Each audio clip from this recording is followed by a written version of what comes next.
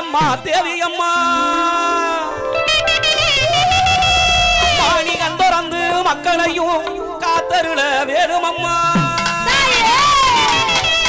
வீட்டுக்குள்ளே நீயும் வந்து எங்க வேதனைய தீரும் அம்மா. உப்பிட்டது வருவைன்னு குலவ சத்தம் போட்டு